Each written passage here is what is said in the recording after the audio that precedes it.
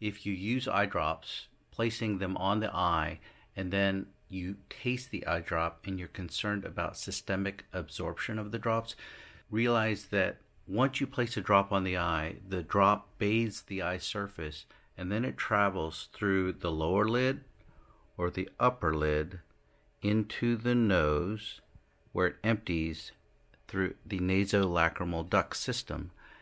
The drops are then swallowed and you systemically absorb them and you taste them.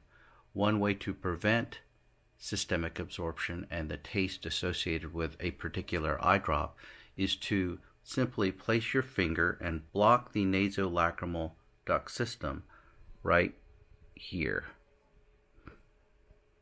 You place your finger right here and it will prevent absorption of the eye drop. It's a simple tip. I hope it works for you. Thank you.